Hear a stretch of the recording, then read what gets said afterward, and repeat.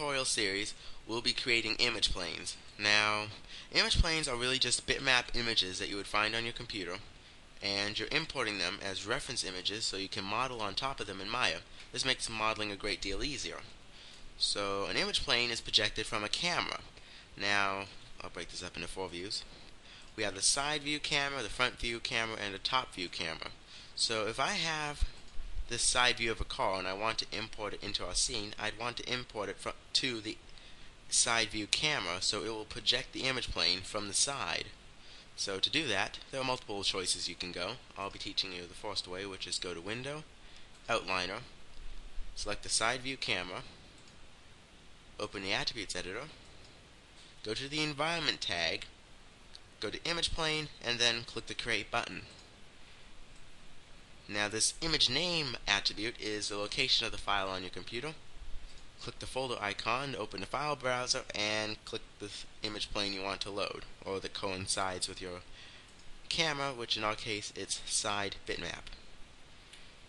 Now there's another way of loading image planes in Maya to a camera, so we're going to break it back up into four views again. And on the front view, we're going to import our front reference image of our car and we're going to go to view image plane import image click front open and it's already created the image plane for us. Now I'm going to go back to the perspective view and reopen the attributes editor. If you're if you've already noticed the image planes don't line up. Maya will not automatically line up the image planes for you.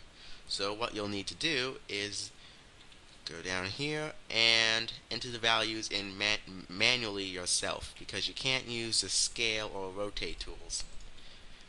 So to begin with, it's basically a higher than or lower than game. So we're going to start off with 1 and I'm going to set it to 15 on both of these width and height values.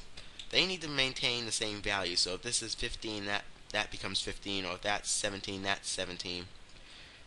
That's basically how that works. And right now that's too small and too tall. So I'm going to set this to 0.5, which means it's only 0.5 units up in the air, and set the width to 16. See if that's any better. Okay, so we need to go a little higher and a little bigger, judging by this. So I'm going to set to 16.5.